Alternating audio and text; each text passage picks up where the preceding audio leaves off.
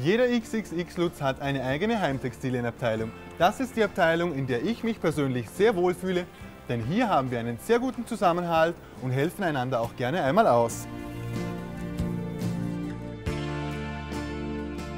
Es gibt ständig was zu tun. Für mich persönlich vergeht der Tag wie im Flug. Ein ganz besonderes Highlight für mich ist, wenn ich auch mal etwas dekorieren darf. Da kann ich meiner Kreativität freien Lauf lassen. Gut gefällt mir die regelmäßige Arbeitszeit, nach der ich mein Privatleben richten kann. Klar starte ich am Anfang des Monats bei Null und sollte am Ende des Monats meine Ziele erreichen. Aber wo ist das nicht so? Übrigens gilt es, die Abteilung auch optisch immer schön zu präsentieren, dass der Kunde sich angesprochen fühlt. Genau hierbei achte ich persönlich sehr gerne aufs Detail.